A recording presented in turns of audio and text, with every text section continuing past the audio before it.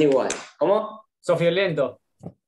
Exactamente. En realidad sufro mucho del frío cuando estamos en esta etapa del año y en noviembre, octubre ya empiezo a sufrir un poco el calor. Digamos que depende el momento del año, empiezo a sufrir las temperaturas elevadas. Elevadas en el caso, perdón, del verano, bastante bajas, bastante inferiores en el caso de ahora, entrando al, invierno. Pero bueno, eh, la clase pasada o las clases pasadas laburamos con dos cuestiones, con dos temas en torno a una, misma temática, que tenía que ver con el periodismo gráfico, o más precisamente el, periodismo de, digamos, sí, el gráfico, pero no tanto orientado al de la web, sí, que también puede ser, por supuesto, eh, considerado gráfico, sino el que iba netamente al, del diario papel. ¿sí? Marcamos aspectos eh, relevantes o, o, por lo menos positivos, marcamos algunas ventajas en la actualidad desde los dos lados ¿sí? del mostrador, desde el lado del que consume, desde el lado del lector y desde el lado del que lleva a cabo la labor periodística, desde el lado del, periodista propiamente dicho, desde el lado del comunicador. ¿sí? La clase pasada nos llevó, creo que gran parte de la clase o toda, las desventajas o los aspectos negativos en la actualidad, que nosotros decíamos que van mucho de la mano con eh, el avance, ¿sí? que eso sí es un aspecto positivo y que en un ratito nos vamos a meter justamente con eso, pero que iba de la mano con el avance indefectible de las nuevas tecnologías. Entonces el periodismo gráfico iba perdiendo terreno, nos llegamos a meter incluso un poco en las cuestiones de, hasta hablar del periodismo radial, ¿no?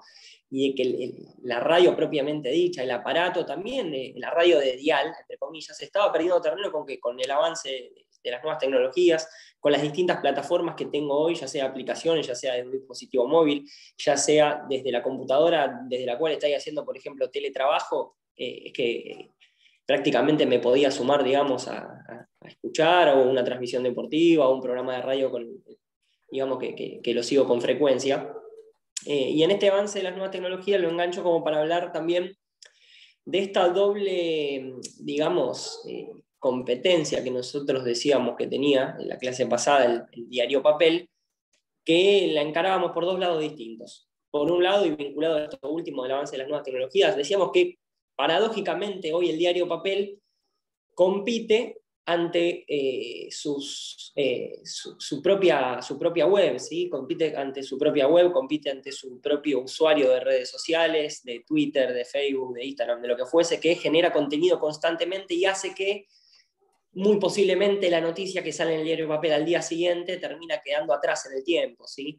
Más allá de que hablábamos que algunas maneras de contrarrestar esto podía ser eh, agregando detalles, agregando testimonios, dándole un plus o agregando cuestiones que no haya visto ni en redes sociales o mismo en otro medio, en la televisión, o no haya visto en la web del diario o de la empresa en cuestión. Eh, más allá que había cuestiones, decíamos nosotros, para... Eh, contrarrestar esto, indefectiblemente esta, esta competencia desigual que se daba entre el diario papel y el avance de las nuevas tecnologías que influía en, en, las redes sociales de este diario o, de este medio, eh, en las publicaciones en la web de este medio, hacían que vaya quedando, insisto, cada vez más atrás el diario papel. Después, la otra competencia también que, que le aparece en los días actuales, eh, ya haciendo referencia mucho más o con más énfasis, incluso pre-pandemia, que era el ritmo de vida que, se lleva en la actualidad, ¿no? que, hace indefectiblemente que eh, en el correr, en la vorágine del día a día, en, lo acelerado que se puede llegar a estar eh, y demás, la comodidad, el fácil acceso al celular, a la notebook, en el caso de estar en un espacio físico ya instalado, pero en el celular a la hora de decir voy viajando, voy de acá para allá, voy a las corridas, tengo cinco minutos nada más entre laburo y laburo, bueno, o entre cursada y cursada, porque también me puede eh, pasar en ese contexto, eh, digamos que eh, eso también hace que, haya, que haya perdido demasiado terreno, ya no se tiene, más allá de las excepciones que marcábamos que, existieron siempre y que seguirán existiendo, hay excepciones de todo tipo, ya se fue perdiendo hasta, hasta ese ritual barra hábito. Sí, ¿alguien, ¿alguien habló? Perdón porque justo estaba terminando de admitir gente y capaz era por eso, perdón. Eh, decía, se fue perdiendo un poco ese, ese hábito, así vamos a llamarlo hábito, esa costumbre de tomarme el tiempo, de sentarme desde que empecé una noticia a continuarla hasta, por supuesto, terminar leyéndola en, detalle, quedándome en pequeñas cuestiones, eh, buscando información, de hecho, de esta manera también. Eh, esas fueron algunas de las cosas que voy recapitulando que hicimos entre la clase pasada, que fue más o menos por allí donde cerramos, hasta la clase también anterior, ¿sí? Más allá de que en el medio dimos devolución de, de parcial, alguna cosa puntual y demás. A propósito de eso, antes de meterme ya con el contenido de hoy, eh, la, la, fecha para aquellos alumnos que se sumaron con de primer parcial, digo, ¿no?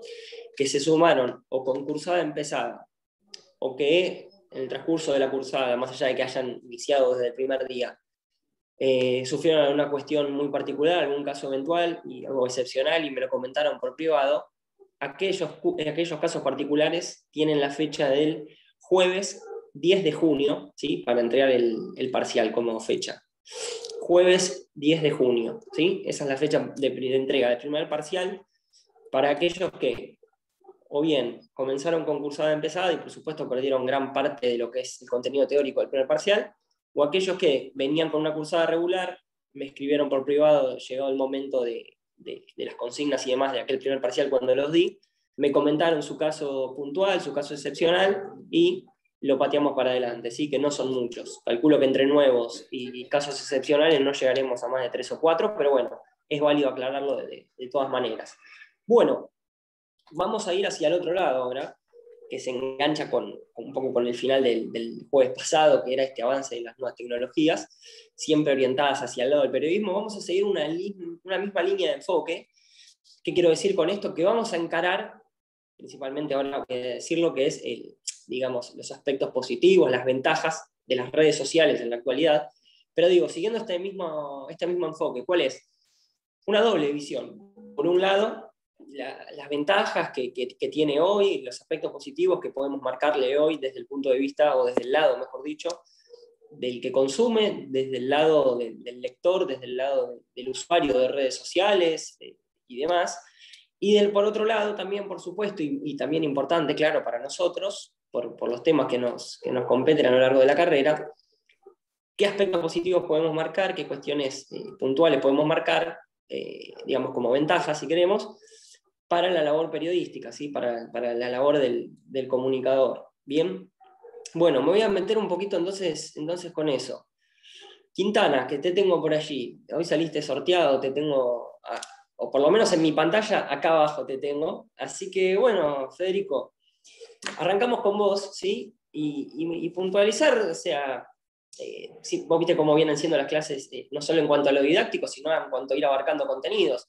La idea es que los, entre todos vayamos tirando disparadores o cuestiones que nosotros creemos que eh, pueden hacer al, tema que estamos viendo y después lo vamos redondeando entre todos. Pero por lo pronto entonces, eh, ya sea desde el lado del consumidor o ya sea desde el lado del periodista en cuestión, de la, tarea periodística, eh, ¿qué aspectos positivos, qué, ventajas podés ver hoy en las redes sociales o o en el periodismo web, que es un poco también lo que marcábamos en la clase pasada?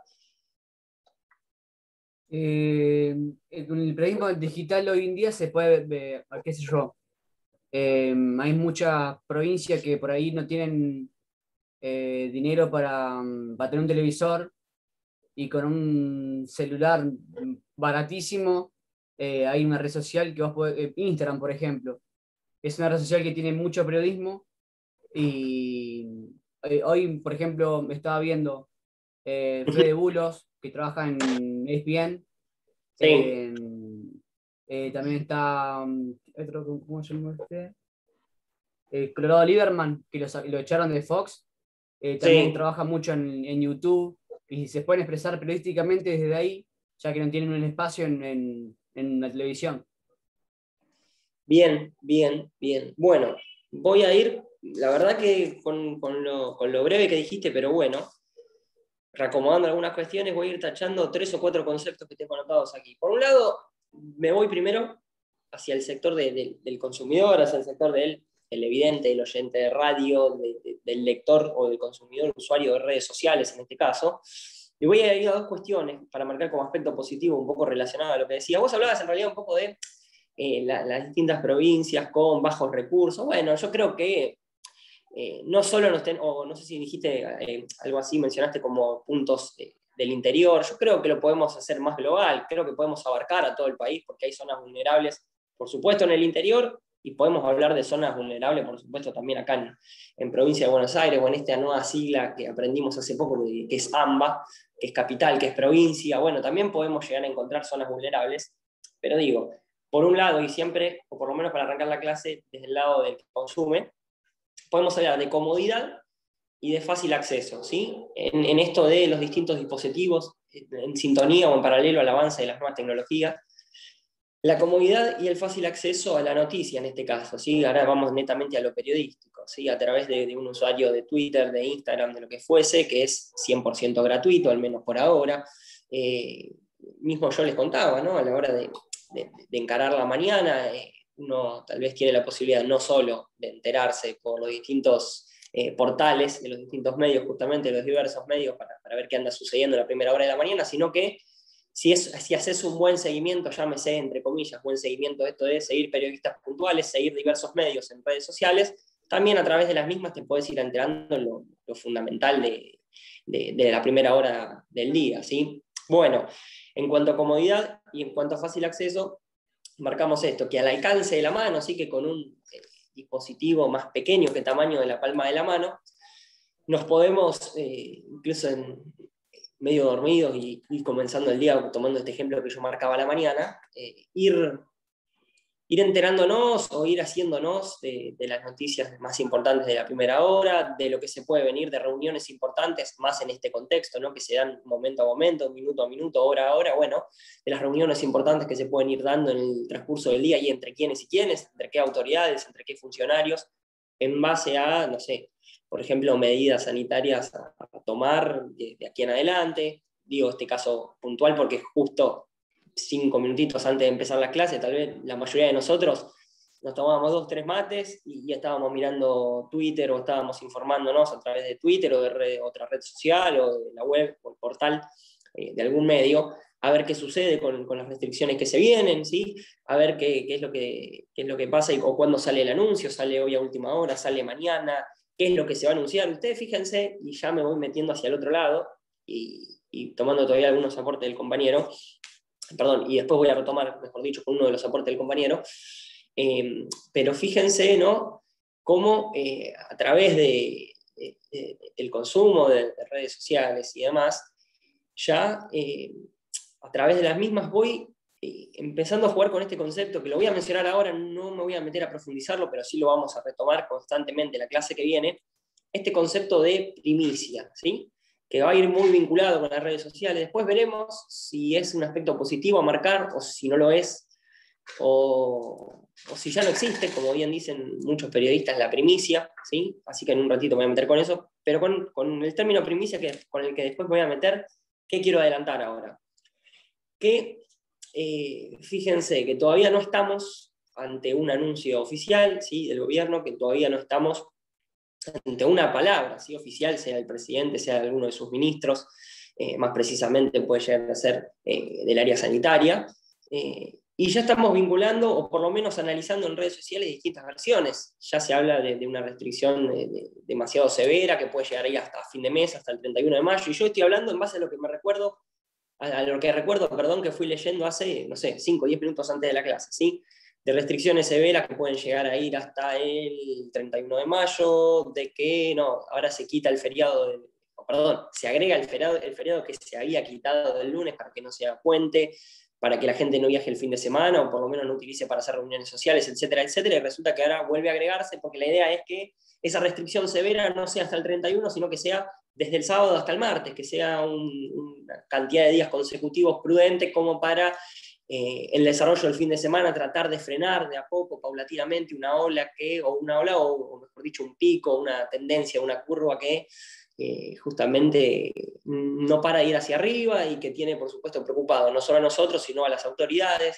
Distintas conclusiones que puede, que puede uno ir sacando, sacando, bien digo, cuando todavía no tenemos, eh, a ver, una, una, confirmación oficial, un comunicado oficial. Todo esto nos va adelantando las redes sociales y después veremos si, digo, veremos después cuando salga este comunicado oficial, si efectivamente era tal cual se lo venía hablando o había demasiadas versiones que eran distintas entre sí y que poco tenían de cierto las, las distintas versiones. Y bueno, en definitiva, confundieron o desinformaron más de lo que intentaban aclarar e informar. ¿sí? A veces puede ser contradictorio. Bueno, ¿alguien, ¿alguien quería hablar? Sí. Puede ser que de esa manera que, estás eh, hablando, el tema de las redes sociales tengan más fake news que un diario, que, el hecho de que en el diario antes de publicarlo eh, lo chequean millones de veces y capaz en las redes sociales se enteraron de algo, lo subieron y después, como pasó con la muerte de, Timoteo en su momento. Sí. la suben al momento eh, enterándose sin chequearlo y capaz en redes sociales ocurre, más seguido eso. Se pierde la credibilidad. Sí, ahí, voy con Claro, a ver, ocurre mucho, sí, hay demasiadas noticias falsas dando vueltas, creo que, en paralelo, digamos, a, las noticias reales, lamentablemente, ¿no?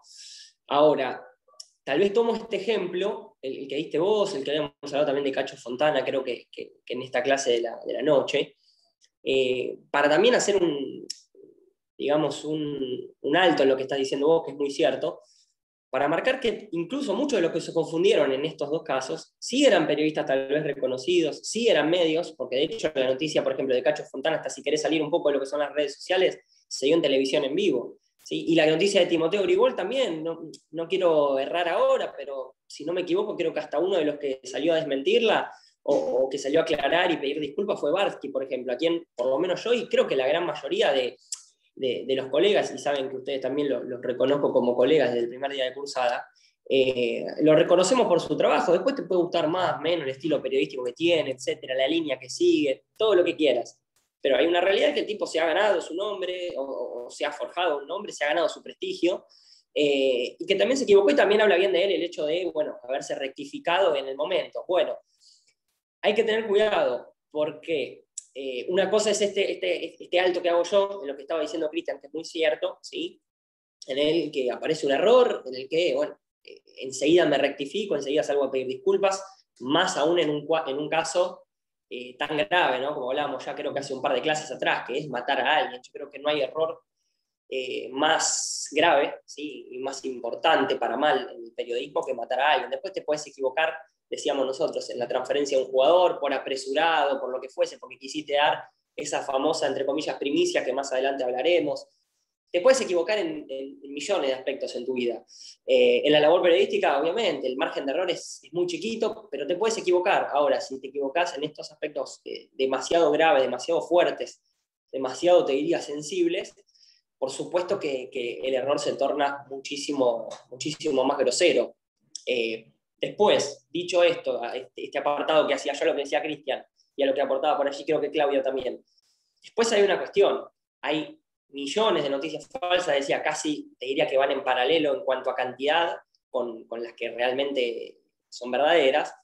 Eh, hay millones de noticias falsas que son de portales, que son de usuarios que tienen tal vez un nombre y apellido, pero que no conocemos, o que ni siquiera se esconden, o que mejor dicho se esconden atrás de un usuario que no es ni un nombre, ni un apellido, ni siquiera una foto real, que se dedican a eso, ¿sí? a fomentar, a difundir, mejor dicho en este caso, una noticia que nace, que tiene un surgimiento ya eh, desde, el vamos, falso, erróneo, y que su idea, su idea es ir difundiéndolo, propagándolo y así generar una bola como se genera en las redes sociales. ¿sí? Entonces, eh, más, allá, de que este tema viene un poquito más adelante, cuando hablemos de desventajas, aunque ya vamos adelantando algunas cuestiones, eh, el eh, tanto el periodismo, digamos, propiamente dicho, como el hecho de, informar en redes sociales, lo hace cualquiera. Y no lo digo de, forma despectiva, como que, ah, sí, cualquier boludo tuitea y, y cualquier perejil saca una noticia. No, lo hace cualquiera, lo, digo desde el buen punto, desde la, desde la libertad que tiene uno atrás de una computadora, atrás de, la pantalla de un celular, para expresarse. El tema es, bueno, después la responsabilidad con la que lo hago, ¿sí? Ni hablar, ni hablar, si, si hablamos de la labor periodística, ahí ya directamente eso es una obligación para nosotros. Después, eh, el usuario común y corriente, el usuario de redes sociales que quiere comentar una publicación, que quiere eh, generar algún tipo de disturbio, algún tipo de pelea, de debate, digo, con mala intención, bueno, eso ya corre por cuenta de cada uno. Ahora, si hablamos de aquellos que somos periodistas, aquellos que aspiramos a ser periodistas, aquellos que desde el primer día que estamos estudiando eh, sentimos que tenemos esa vocación y que tenemos, por ende, una línea, una conducta por seguir, eh, es una obligación para nosotros el hecho de, por lo menos, laburar con responsabilidad y que si nos vamos a equivocar en un mundo en el que el margen de error es ínfimo, que sea un error eh, o que la cantidad de errores que tengamos sean los, menores posibles, porque, a ver, no, vengo acá ni yo ni ningún profesor que tengan en, la carrera, ni ningún colega en realidad que tengan transcurso de su carrera van a ir a decirle, bueno, ustedes no se pueden equivocar, ni en esta carrera, ni en esta profesión, digo, ni, ninguna, ¿sí? porque el, el, error es humano. Ahora, si me manejo con responsabilidad, si me manejo con prudencia, si sigo una línea, como les decía antes, posiblemente en cuanto a credibilidad, eh, en cuanto a prestigio y demás, mi nombre propio, mi marca, mi medio, lo que fuese, eh, va a ir creciendo. ¿sí? En paralelo también, claro, vamos a ir identificando como consumidores, como, periodistas también, aquellos medios barra usuarios que no sabemos qué procedencia tienen, de dónde vienen, de dónde sacan la, información, que a veces pueden llegar a ser las cuevas o la, cuna de donde nacen ¿sí? las noticias falsas que un poco hablábamos recién con Cristian, que mencionaba Claudia, que aportaban los compañeros. ¿sí? Bueno, eso por un lado. Después, retomo algunas cuestiones. ¿Alguien, perdón, alguien tiene alguna pregunta? ¿Alguien quiere aclarar algo? ¿Asumar algo antes de que yo siga? ¿Algo para aportar? Ustedes me dirán. Bien. Tomo dos cuestiones más del compañero, de Quintana, que habló al principio, que es una herramienta esencial, fundamental para la labor periodística, ahora sí me meto en ese costado, y una gran herramienta en, relación con esto también, ¿no? Eh, para el periodismo independiente, para el periodismo llamado actualmente, como está de moda, freelance, ¿no? Que tiene que ver un poco con esto que marcaba en el inicio de la clase el compañero, que es esto de que, bueno, cuando arrancás de cero y, y no tenés los recursos, porque te puede, nos puede pasar, nos puede seguir pasando incluso el día de mañana, periodismo es una, es una rueda y hoy podés estar en un buen momento, mañana puede estar más complicado. El periodismo es cualquier, digamos, ¿no? profesión, pero bueno, nosotros nos enfocamos hoy en esta. Y es una rueda y en algún momento puedes estar allí arriba, en algún momento te puede tocar bajar un poquito, estar por la mitad, en algún momento te puede llegar a tocar estar abajo. Eh, y como decía el compañero, tal vez es dificultoso ni hablar desde un inicio, cuando te tenés que ir haciendo de un nombre, cuando te tenés que ir haciendo una marca, de un, eh, de un medio propio y, y de un producto propio y demás de, ir, de pagar un espacio de radio porque no se consiguen los auspiciantes, porque la tenés que remar eh, a dos manos y con ayuda, por supuesto, del proyecto de, otros colegas que quieran sumarse y demás. Eh, hoy las redes sociales, hoy también una plataforma como Twitch que hablábamos la semana pasada, como puede ser YouTube, como tenemos Discord, como tenemos unas cuantas, esta misma grabando no sé, una reunión y, después presentándola en otra plataforma como puede ser YouTube, que la nombro porque es la, la de mayor consumo eh, desde hace tiempo ya, son aquellas herramientas, se vincula con esto, para eh, empezar a ejercer una, profesión que desde el inicio eh, puede ser complicada, ¿sí? desde el punto de vista económico, desde el punto de vista rentable, desde el punto de vista de un espacio físico, digamos, al cual vos no podés acceder, repito, por cuestiones muchas veces económicas, de organización, de logística y demás, y que hoy terminan siendo eh, fundamentales o principales aliados. Después veremos si son fundamentales o no, dependiendo el uso que le damos o, la intención que tenemos de utilizarlas, pero son principales aliados para aquellos que quieren ejercer la labor periodística. Y no solo, yo di el ejemplo del que está recién arrancando, del que se le hace complicado desde lo económico, pero no solo para ellos, ¿sí? el nombre o el periodista, ahora voy al caso puntual del, del nombre propio, no tanto al medio, porque ya nos metimos mucho en eso, pero voy al nombre propio, ¿sí? al periodista que tiene su usuario de redes sociales, que ya es reconocido por una trayectoria que, arrastra de años, que ya tiene sus seguidores, que ya se ha ganado, insisto, su prestigio y demás.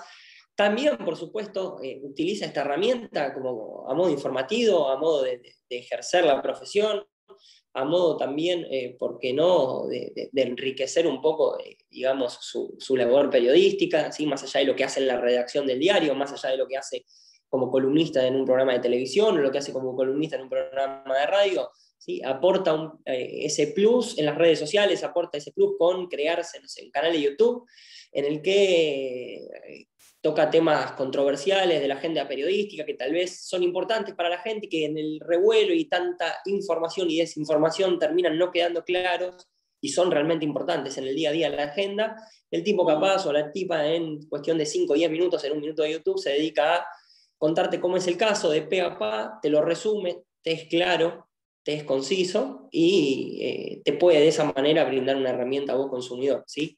Eso por un lado.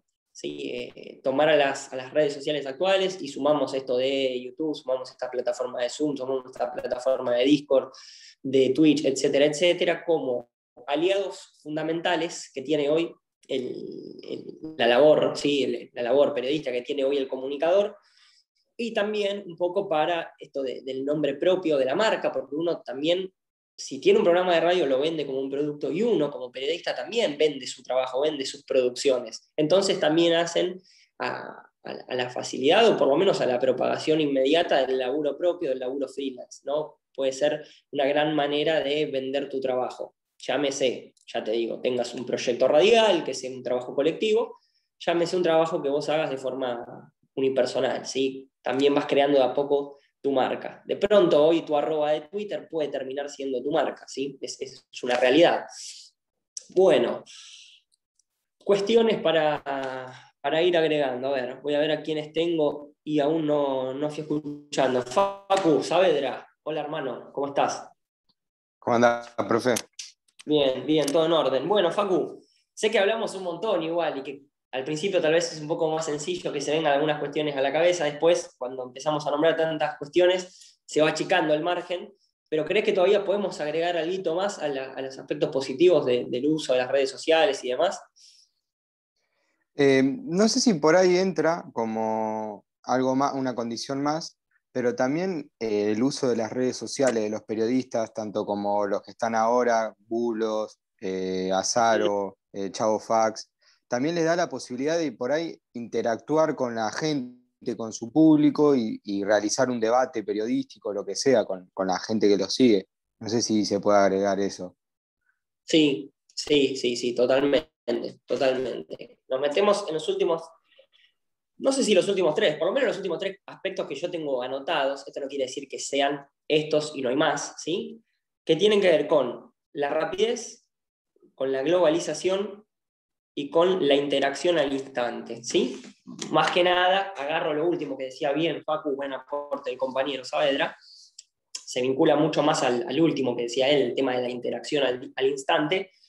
Eh, y acá, bueno, con esto lo voy a agarrar ahora, me voy a ir a otros temas y después lo voy a retomar sobre el cierre de la clase porque posiblemente sea con este tema el que abramos la, reunión que viene, el jueves que viene. Esto de la interacción al instante. Bueno, la interacción, el debate, llévenlo al, campo de las redes sociales y llévenlo al, campo del cara a cara, del debate, no sé, del debate político, del debate en un senado, del debate en un aula, en un trabajo de secundario, lo que fuese. Depende cómo es encarado, ¿sí? puede ser fructífero o puede terminar en un caos. ¿sí? Hoy, y ahora sí yendo al comentario de Facu y a lo que nos compete mucho también, que es el tema de las redes sociales y esto de la interacción al instante, Hoy la intervención, ¿sí? no solo entre periodistas, sino que hoy cualquier usuario, y en esto hablábamos de la libertad a la hora de, poder expresarnos y demás, hoy la interacción del público, por así llamarlo, del común de los usuarios, a veces puede terminar generando algunos de los aspectos que fuimos hablando nosotros hace ratito nada más. Desinformación, puede ir partiendo a partir de esto, justamente una, falta, una falsa noticia, perdón, puede empezar a darse esta confusión en el común de, la gente, porque de pronto eh, a veces eh, más, se da mucho más eh, en cuestiones tal vez o en, tweets o en informaciones políticas, pero empieza la catarata de comentarios, las cuales, o los cuales, mejor dicho, terminan desorientando y desinformando más al, que quiere realmente informarse, al que quiere estar al tanto de lo que está sucediendo, que justamente llevándolo por el lado correcto, orientándolo e informándolo. ¿Sí? Entonces, esto de la interacción al instante lo vamos a dejar para debatir un poquito sobre el final de hoy y un poquito ya directamente la clase de mañana. y ver, bueno, de qué manera podemos sacar cuestiones positivas, podemos sacar cuestiones en limpio interesantes de este debate que se da, y en qué ejemplo podemos marcar que, mira, defectiblemente no, no, no, no, hay caso, no hay caso con algunos usuarios, porque están también los famosos trolls, que también traigo a colación ahora, que bueno, son usuarios hechos para eso, hechos para generar, entre comillas, y hablando vulgarmente entre nosotros, lío en redes sociales. Eh, hoy yo puedo con mi arroba Renzo Maciatra comentar una, publicación y puedo decir las pavadas y los insultos que se me ocurran. Imagínense si puedo yo, si no puedo hacerlo una persona que se esconde atrás de una imagen, como decía antes, que no es la, que no es la propia, atrás de un nombre, o de, un nombre incluso a veces hasta de fantasía, que, que, no corresponde al nombre de, al nombre y apellido que figura, digamos, en, su documento. Entonces, como a través de, esta interacción, que muchas veces no es la, que buscamos, no es la que en realidad se da como para llegar, bueno, aunque sea un punto de acuerdo, o ni si querés ni siquiera un acuerdo a confrontar, pero bajo una línea de respeto, con argumentos, eh, no se termina dando, ¿sí? Así que después me voy a meter con eso, buen aporte. Y después hay dos cuestiones más que hacen a, las, ventajas, a los aspectos positivos que tiene hoy el periodismo, pero que también lo vamos a tener que vincular eh, la clase que viene, porque todo tiene que ver con todo, es decir, cuando hablemos de los aspectos negativos o algunas desventajas. Una es la rapidez, rapidez en términos de información, rapidez en términos de difusión, y va de la mano con un concepto clave también, ténganlo ahí a mano porque nos va a venir bien para el desarrollo de este par de clases y también cuando arranquemos otros temas más adelante, que es el de la globalización. ¿sí? Entiéndase globalización por esta llegada en cuestión de segundos, de un abrir y cerrar de ojos, a la velocidad, como se suele decir, de la luz, ¿sí? de un lugar recóndito de, Buenos Aires, un lugar pequeño eh, eh, y difícil de, identificar de Buenos Aires, como puede ser la casa de cualquiera de nosotros, que de pronto puede rebotar por todo el mundo. Y no es que lo estoy diciendo a modo de, bueno, imaginemos si sucede esto, o si estoy diciendo todo el mundo como para hacer referencia a que, bueno, rebotó por varios lados. No, lo estoy marcando de forma eh, tal cual sucede. Pueden hacer de acá y puede de pronto dispararse de manera global, de manera mundial. ¿sí? Por ende, al término de globalización también vamos a marcarle a un costado de este concepto que vamos a laburar también en el transcurso de estas clases, que es, y que va de la mano un poco, que es el de la mundialización. Globalización y mundialización de la información, ¿sí? Por esto de la rapidez, en cuanto a, la rapidez de, informar propiamente dicho y a la rapidez que tiene la, difusión periodística, ¿no? Hoy con un retweet, eh, de pronto apareces en todos lados, y es así, y puede ser negativo también, nos vamos a meter con eso en la clase que viene. Eh, hoy, digamos, una captura de pantalla, más allá de que tenés esa ventajita, que a veces no lo es, de, equivocarte y borrarle, borrarlo enseguida, hoy sabemos que eh, una vez que algo fue publicado, un error tal vez muy puntual, muy grosero, fue publicado, y ya tengo una captura de pantalla, yo puedo llegar a tener un retweet y ya eso queda registrado y eh, más allá de que lo borre en cuestión de segundos o de minutos, posiblemente eh, pueda haber un registro de, ese error, ¿sí? Pero bueno, eso es tema de, más adelante. Bueno, en base a la, retomando un poquito este concepto también de, interacción, otra cuestión que es importante o, positiva para marcarla siempre y cuando esté bien utilizada, en esto de la interacción inmediata, es el, derecho a réplica inmediato, ¿sí? El derecho a réplica inmediato. El derecho a réplica que pueden tener o suelen tener, mejor dicho, los protagonistas. En esto de la famosa frase también periodística, bueno, vos tenés que escuchar las dos campanas de una historia, no te puedes quedar con lo que te dice A, tenés que escuchar lo que te dice B también, y después, bueno, si querés vos de forma subjetiva sacar tus conclusiones, tratando de ser lo menos tendencioso posible, pero dejale a la gente, dejale al consumidor que tenga A, que tenga B, que después la gente libremente saque sus conclusiones. ¿sí? Eh, a mí me gusta dar siempre el, ejemplo en el que caigo fácil, pero para que se entienda bien esto de las campanas y demás, vamos a llevarlo al lado, al lado deportivo, más precisamente al lado futbolero. Tenemos un plantel que eh, de pronto dice tener una deuda de seis meses, ¿no? Y habla el capitán, sale el capitán del plantel y nos dice, sí, nos deben seis meses, para colmo nos deben el premio del ascenso, y las condiciones en las que hicimos la pretemporada, la realidad es que no fueron las mejores, no teníamos ni colchón, ni agua caliente, ni esto, ni lo otro.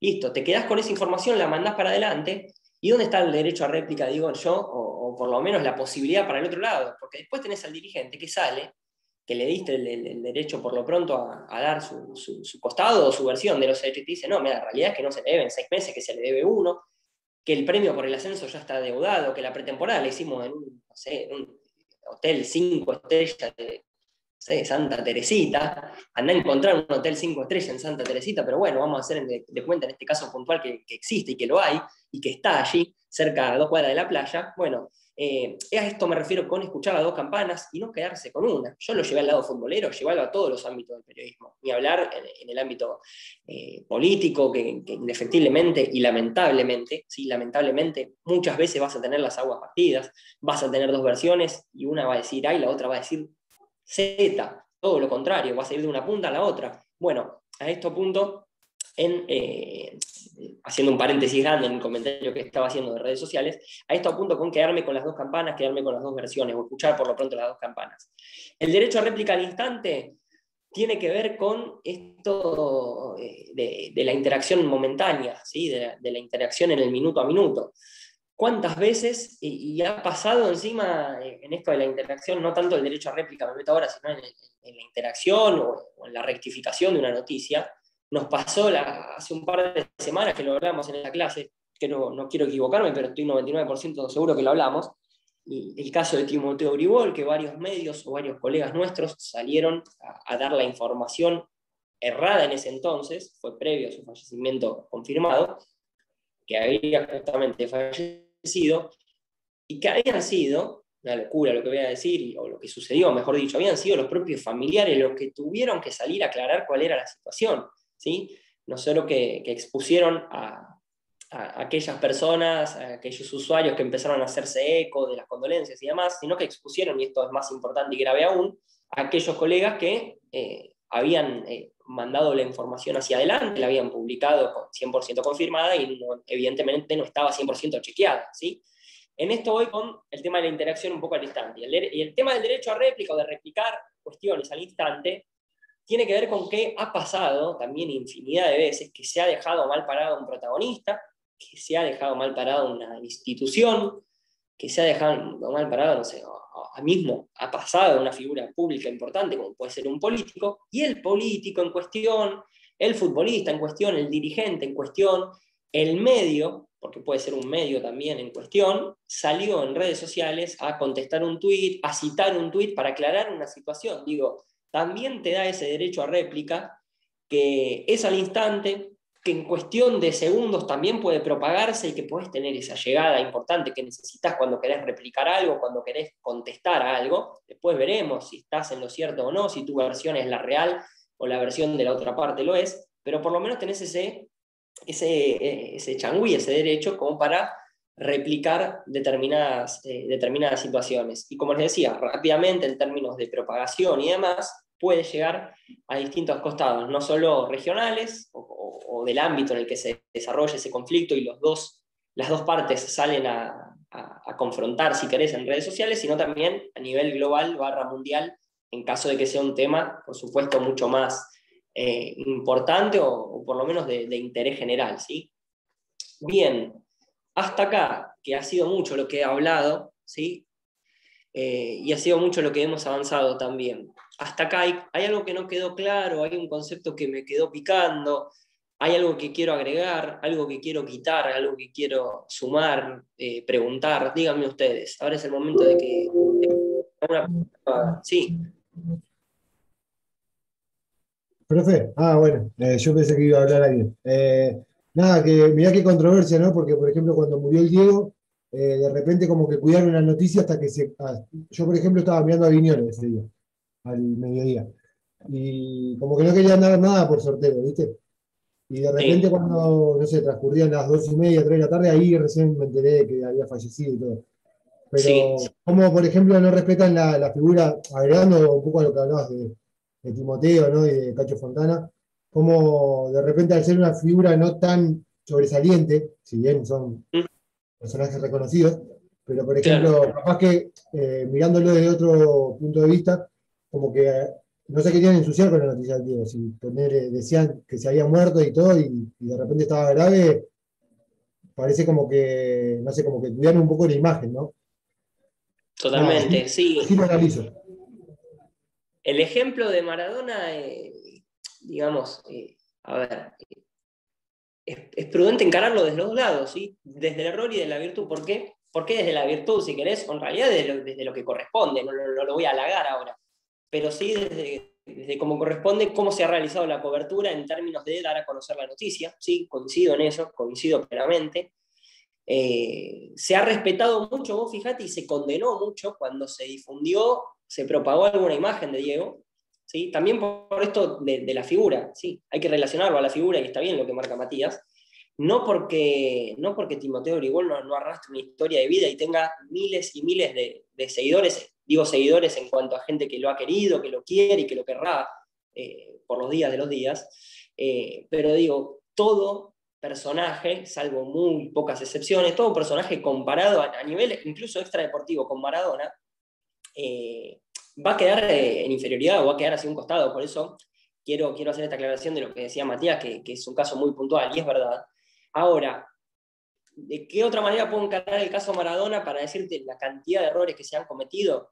Y con la frase que también se mencionó, ¿no? Eh, el día de su fallecimiento y de allí en adelante, que es, sacando ese día, anteriormente, años atrás y demás, cuántas veces, incluso en años en que las redes sociales no, no existían, de hecho, no es que no, no, no, no, tenían llegada, ni mucho menos, sino que no existían, cuántas veces lo habían matado antes a Diego, cuántas noches lo han matado, cuántos días a las 5 de la tarde ha aparecido la noticia de, su presunto fallecimiento y resulta que no había sucedido. Entonces, por un lado, es para destacar la labor periodística a la hora de dar a conocer una noticia. ¿Por qué lo hicieron?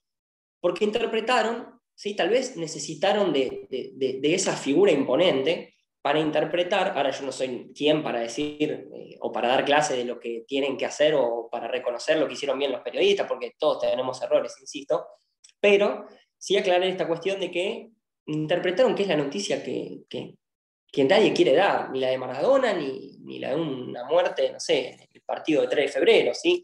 Eh, por, un, por, un, hecho delictivo incluso, ¿sí? de una persona que por el común de la gente no es conocido, pero que tiene, insisto, arrastra cada uno una historia de vida. Eh, entendieron que, bueno, que, que, es la noticia que, que nadie quiere dar y que para darla, bueno, hay que estar 100%, 100 seguros. ¿sí?